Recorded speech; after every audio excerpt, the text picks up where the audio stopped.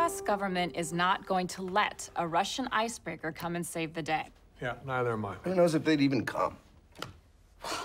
Please, they'd all come for the same reasons that you're doing this.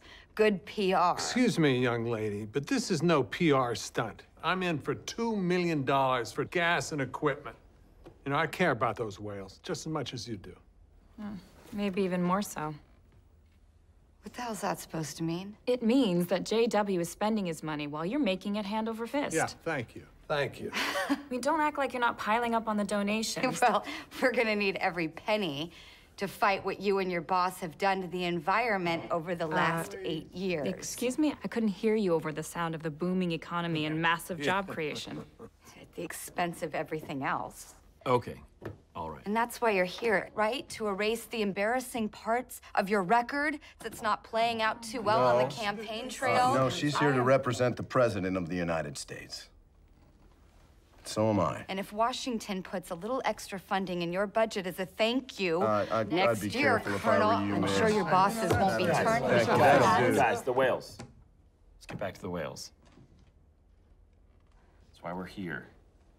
It sounds like the only viable option is to call in the Soviets. No, no, it's I not. That's cannot what we're recommend that to the president.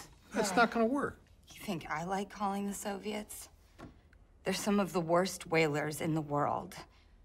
And now they're gonna come in here and look like environmental heroes. But as much as we hate it, Greenpeace is willing to shut our mouths and let them. Well, I'm not. I'll be damned if I'm gonna let those Reds come in here and save the day. It's not gonna happen. That's right. Then those whales are going to die. Right there, in front of the cameras, and when the weeping school children and the heartsick men and women of this we- country we got look for it. someone to blame, and they always do, right?